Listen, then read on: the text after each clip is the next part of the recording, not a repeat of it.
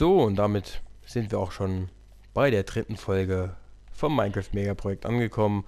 Und wir waren in der letzten Folge hier stehen geblieben und haben quasi hier das Dorf jetzt nochmal gefunden. Es war wirklich auf der rechten Seite quasi von der Karte. Und wir waren jetzt hier drin und haben quasi einmal hier ein bisschen das Inventar gefüllt. Es war eine Schmiede da und jetzt können wir eigentlich schon anfangen, die erste Höhlentour so richtig zu machen. Hier ist auch ja schon direkt, hier ist direkt eine fette Höhle eigentlich. Das heißt, wir haben eigentlich alles perfekt hier, was wir brauchen. Jetzt bauen wir den ersten Baum ab. Und ich glaube, ich habe die Kiste abgebaut. Ja, das heißt, wir suchen uns gleich mal, ich baue jetzt kurz hier noch das Holz ab, dass ich mir mal eine Spitzhacke und so machen kann. Ich hoffe, es ist hell genug, aber ich glaube, man müsste eigentlich alles erkennen können. Das sollte eigentlich alles funktionieren.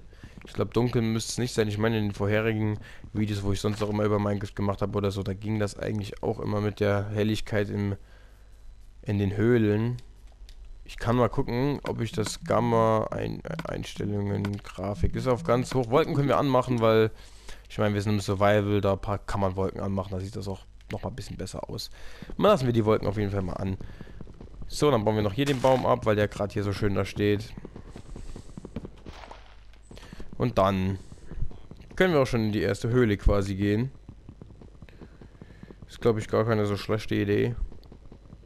Natürlich könnte ich das jetzt auch noch mit äh, einer Axt machen, aber das wäre ein bisschen Verschwendung. So, holen wir uns, wir holen uns, glaube ich, am besten gerade hier das Haus. Weil das halt so das größte Haus, sage ich jetzt einfach mal. Da kann man alles ordentlich hinstellen. Können wir alles reinmachen, was wir nicht brauchen. Das brauchen wir nicht. Also Essen brauchen wir eigentlich erstmal alles gar nicht. Karte nehme ich mit. Holz nehme ich auch auf jeden Fall was mit, aber nicht alles. Ich mache mir auf jeden Fall mal eine Spitzhacke. Ja gut, das können wir eh komplett verarbeiten. Eigentlich müssten wir die Werkbank mitnehmen. Holz, das, das, das Schwert brauchen wir, glaube ich, auch nicht. Nur falls wir halt eine Mine finden. Aber wir machen es erstmal so. Ich nehme eigentlich die Werkbank auch nochmal mit. Ja, wir können uns eigentlich doch ein Schwert machen. Aber erstmal nur ein Holzschwert. Das reicht, glaube ich, fürs Erste. Weil, ich meine... Werkbank nehme ich halt mit. Wer es nicht... Mann, die Villager, geh weg! Lass mich in Ruhe. Äh, Bett brauche ich jetzt erstmal nicht. Das hole ich mir dann, wenn... Wenn ich nochmal von der Tour zurück bin, auf jeden Fall. Oder soll ich, oder komm, wir machen jetzt in der Folge, machen wir vielleicht doch noch keine Höhlentour. Da holen wir uns jetzt einfach erstmal ein bisschen Essen und alles. Denke ich mal, das ist, glaube ich, auch keine so schlechte Idee. Ich töte jetzt einfach hier alles, was hier rumläuft. Dann müssten wir auf jeden Fall schon mal ein bisschen Essen haben. Dann müssen wir uns auch erstmal darüber keine Sorgen machen. Dann haben wir auch ein Bett und alles. Und das sollte dann eigentlich alles funktionieren. Da machen wir in der Folge jetzt auch noch keine Höhlentour. Oh, ist das ein Babyschaf? Oh, hat er... Oh ne, das war ein Huhn. Oh, war ein Eis auch nicht schlecht. Ich dachte gerade, das wäre ein Babyschaf gewesen. Und wir haben ein Level. Huh. Und jetzt auch noch eine Kuh. Buh. Das... Ist das ein Lama? Ja, das ist ein Lama. Hallo Lama in der Nacht. So, das Schwein wird getötet. Dann da vorne ist auch noch... Oh, da sind ganz viele Schweine. Nice. Das ist nice. Und noch ein Lama.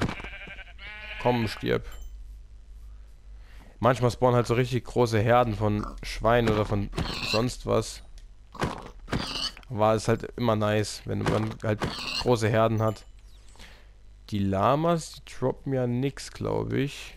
Ne, schwarze Schafe will ich nicht. Die Rassentrennung, strikte Rassentrennung hier. So, dann ist... Oh, da sind noch Esel. Hier ist ja alles vertreten. Ich habe mir ja wirklich alles, was... Alles an Tieren, was man eigentlich in Minecraft finden kann, so ziemlich schon fast. Und was ich jetzt auch noch gut finde, dass... Es ist ja, glaube ich, jetzt bald nochmal die Minecon. Und... Äh, wer war das? Halt der, der Chef jetzt von Mojang der hat ja jetzt äh, vier neue Mobs quasi vorgestellt. Und da können wir uns mal noch die Setzlinge und alles holen. Der hat jetzt vier neue Mobs vorgestellt. Ich weiß nicht, ob ich das schon mal irgendwo in einem anderen Video gesagt habe. Aber auf jeden Fall, äh, die Minecraft-Community kann jetzt, glaube ich, im Zeitraum der Minecon quasi darüber entscheiden, welches neue Mob wir haben wollen. Wir können, glaube ich, zwischen einem zwischen zwei Unterwasser-Mobs uns entscheiden. Ich glaube, das eine war sogar ein Rochen oder sowas. Dann gibt es noch, glaube ich, ein, einfach ein ganz normales Tier. Ich glaube, das war irgendwas mit Krokodil oder sowas. Eine Reptil irgendwas. Wird wahrscheinlich schon im Dschungel vertreten sein. Oder ein Netamob. Und ich würde hoffen, also ich hoffe natürlich, dass äh, viele quasi für das Netamob, ja doch Netamob stimmen, weil das Neta ist einfach halt so eine Dimension, die ein bisschen herausfordernd ist und wenn die jetzt irgendwie noch so ein härteres Mob kriegen oder so, dann wäre das glaube ich schon ganz nice. Also der, der Neta könnte das eigentlich, heißt der Neta, das Neta, ich weiß es nicht, aber auf jeden Fall das Neta könnte eigentlich so ein neues Mob, glaube ich, mal ganz gut vertragen. Das gibt dem auch nochmal so einen kleinen Pep irgendwie. Vielleicht dann auch noch irgendwie ein neues Item da komplett ins Spiel einfügen, das irgendwie was Bestimmtes machen kann. Irgendwie, ich weiß nicht, vielleicht irgendwie so irgendwas, dass man vielleicht auch im Survival richtig selber fliegen kann.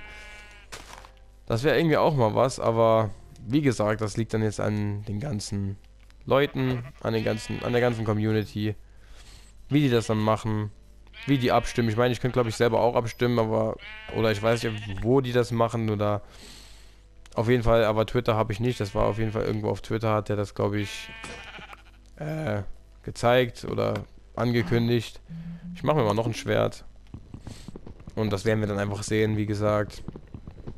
Spätestens in der, also es kommt jetzt die 1.13, spätestens der 1.14, denke ich mal, werden wir das sehen. Oder vielleicht auch sogar schon in der 1.13. Man weiß es ja nicht, weil es kommen jetzt nochmal Snapshots raus. Und je nachdem, wie lange das halt dauert, aber meistens ist es so, wenn die Snapshots rauskommen, dann dauert es nicht so mega ewig, bis da nochmal was Neues kommt. Meistens sind es ja auch immer nur so kleine Änderungen, irgendwie so Bugfixes oder sonst irgendwas anderes in der Art. Und ja, eigentlich ist das auch immer recht gut, aber wie gesagt, ich finde, Minecraft ist eigentlich jetzt schon ein ziemlich komplettes Spiel an sich, aber es wäre auf jeden Fall cool, wenn die noch vielleicht sowas reinmachen würden, wenn sie beim Ende irgendwie, ich weiß nicht, da man könnte, wenn man ins Ende reingeht, könnten die vielleicht noch so machen, dass man irgendwas mit Magie irgendwas mit Magie kriegt, finde ich. Ich finde irgendwie Minecraft braucht noch irgendwas mit sowas magisches irgendwie, sowas richtig magisches. Jetzt nicht Tränke, sondern Tränke ist ja eigentlich nur was, was man ganz selten jetzt im Survival unbedingt benutzt. Vielleicht benutzt man das mal, wenn man gerade irgendwie in die Lava gefallen ist oder sowas. Äh, als Trank, wenn man dann halt, also als Feuerresistenztrank, das wäre das Einzige, was ich mir jetzt noch so halbwegs größtenteils vorstellen könnte. Aber ansonsten benutzt man die Tränke jetzt nicht so krass im Survival. Die benutzt man halt mehr für PvP oder halt, wenn man sowas, wenn man Adventure Maps macht irgendwie oder irgendwas sowas möglich ist auf jeden Fall in der Art, aber jetzt nicht zwangsweise im Survival. Deswegen finde ich, sollten die irgendwie. Es gibt ja diesen. Ich weiß nicht, wie der Mod heißt. Äh, das mit diesen ganzen Zauberstäben und diesen. Dass der, dass der Verzauberungstisch quasi noch so, ein, so eine extra Leiste bekommt irgendwie. Das wäre zum Beispiel auch was Geiles. Muss ich sagen. Also. Da würde ich mich auf jeden Fall nicht beschweren. Und auf jeden Fall könnte Minecraft auch noch irgendwie eine neue Dimension vertragen. Irgendwas härteres, wo nochmal so ein Boss irgendwie, weil ich meine, der Wizard an sich ist kein starker Boss jetzt. Der ist jetzt nicht so wie der Enderdrache, der jetzt so mega heftig ist. Ich meine, man kann den Wizard eigentlich recht leicht besiegen. Er ist zwar so mittelmäßig zu bekommen, man muss halt ein bisschen farmen für die äh, Wizard-Köpfe, aber ansonsten dann die Materialien halt, deren Seelen sind, zu bekommen, der ist es ja nicht schwer, den findet man ja wie Sand am Meer im Nether. Deswegen ist das, glaube ich, halt nicht so ein heftiger Boss. Und der äh, Boss in den Ozeanmonumenten finde ich jetzt auch nicht so heftig. Der ist ja Tierschwertschärfe 5 mit 3 Hits weg oder so. Also das ist ja kein Boss in dem Sinne. Das ist halt nur so ein kleiner wie heißt das, ein Miniboss. Das ist genauso wie auch jetzt mit den, äh, wie heißen sie? Den Zauberern? Sind das Zauberer? Ja, auf jeden Fall mit den äh, Bossen in den Waldanwesen. Da ist es ja auch nicht anders. Die sind genauso schnell weg. Das sind auch, wenn du ein Dia-Schwert, ein stinknormales Dia-Schwert hast, dann sind die auch Two-Hit oder so, sind die dann, glaube ich, weg. Das ist ja in dem Sinn kein richtiger Boss Kampf. Ich meine, er kann halt ein bisschen mit diesen komischen, äh, was, was, was, wie, wie kann ich das nennen? Wie habe ich das in dem Video genannt? Ich weiß schon gar nicht mehr. Mit diesen Greifzangen nenne ich es jetzt einfach mal mit diesen, ähm, mit diesen Zähnen, Zähnen, ne, genau, sind Zähne. Wir nennen es einfach Zähne. Kann er ja quasi so eine kleine Attacke machen, die eigentlich auch, wenn man davon getroffen wird, was eigentlich nicht so mega wahrscheinlich ist, so 50-50 eigentlich, wenn nicht sogar noch weniger, weil ich meine, wenn du hochspringst, dann kriegst du davon auch schon keinen Schaden. Und ich meine, er kündigt ja diesen Angriff an und wenn er den angekündigt hat, dann macht er den auch in die Richtung. Das heißt, wenn du dann zwei Blöcke nach neben dran gehst, dann trifft dich das schon gar nicht mehr. Deswegen äh, ist das jetzt nicht so heftig, dass man da sagen kann, ja, da hat man keine Chance irgendwie. Deswegen finde ich, sollten sie irgendwie noch eine neue Dimension, vielleicht sollten sie so eine Dimension, irgendwie so den Himmel, irgendwie, so den Himmel als Dimension irgendwie hinzufügen, wo man dann irgendwie gegen, ach, keine Ahnung, was weiß ich, was gibt's denn im Himmel irgendwie, vielleicht, dass es da irgendwie auch einen Boss gibt, ich weiß ja nicht, dass man Gott besiegen muss, nein, mir keine Ahnung. Aber auf jeden Fall irgendwie noch so eine neue Dimension irgendwie, Jetzt muss man überlegen, was könnte man da, was könnte man denn da dazu machen? Auf jeden Fall, hier ist auch wieder eine geile Schlucht. Aber jetzt äh, von den Tieren her habe ich jetzt eigentlich noch, ich meine, jetzt haben wir von jedem so um die 20 Stück, das ist eigentlich schon mal recht gut. Das sollte eigentlich auch fürs Erste reichen. Das heißt, wir können jetzt eigentlich doch schon mal noch ein bisschen anfangen, in die Höhle zu gehen, aber größtenteils, ich gehe am besten nochmal da vorne in, in die Höhle von, von unserem Dorf. Hier baue ich mal noch die Kohle ab. So. Bauen wir das mal noch ab. Dann gehen wir jetzt noch dahin. So, bauen wir hier auch noch die Kohle ab. Bisschen wie habe ich die Musik? Ich habe die Musik, glaube ich, an. Ich, eigentlich sollte die Musik an sein, denke ich. Oder ist sie an? Naja, ich weiß nicht. Wie gesagt. Jetzt kollert da einer rum. So. Bauen wir noch hier das ab. Dann haben wir doch, sind wir doch schon sechs Level. Aber ich würde sagen, nee, ich glaube, ich mache dann doch hier, dann haben wir wenigstens so eine abgerundete Folge mit einem Thema. Und das wäre dann jetzt halt hier einmal Nahrungssammlung und dann halt über das Ganze, was ich halt geredet habe.